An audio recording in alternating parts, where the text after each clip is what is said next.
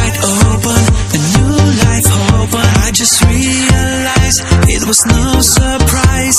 My heart is broken, you got me open. It will heal in time, I will be just fine.